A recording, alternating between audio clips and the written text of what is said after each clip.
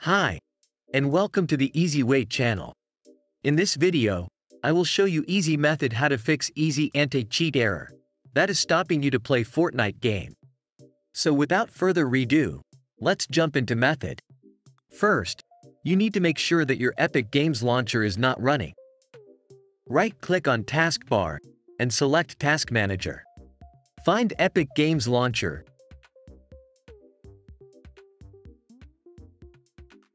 right-click on it, and select End Task.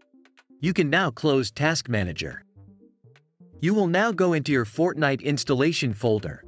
If you haven't changed anything during installation of the game, then you will go to C Drive, Program Files, and then Epic Games folder, and find Fortnite folder. I have installed Fortnite on custom location, so I will go there. When you open Fortnite folder, open Fortnite game folder, then binaries, and then Win64 folder. Here, you will see Easy Anti-Cheat folder. Open it, and then double-click on Easy Anti-Cheat Setup file. Click Yes on this window. At the bottom left, you will see Uninstall option, so click on it. When it finishes, you can close this window. Now go back one time, and right-click on this Easy Anti-Cheat folder and select Delete. Now scroll down until you see these four exe files. Mark all four of them. Right-click and select Delete. Don't be afraid that this will delete your entire game and that you would have to download Fortnite all over again. This will just make Fortnite think that we are missing some of the game files, and it will have to download only that files we just deleted. These four files, an easy anti-cheat folder. You can now close this and go and start Epic Games Launcher.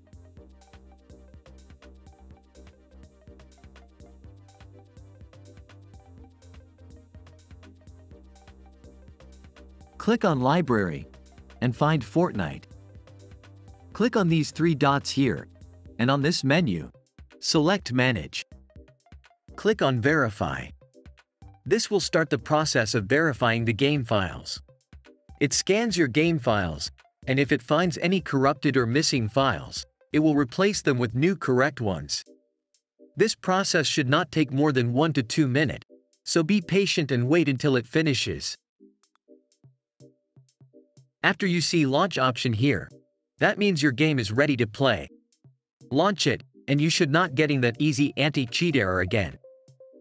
If you have any more problems with launching Fortnite, click on the card you see right now in top right corner, and watch my popular video on how to fix Fortnite if it fails to launch. And with this, we came to end of this video.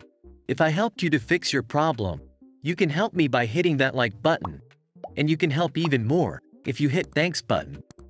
Don't forget to subscribe with the bell on if you aren't already, so you don't miss my next video. Until then, stay safe, and I see you all.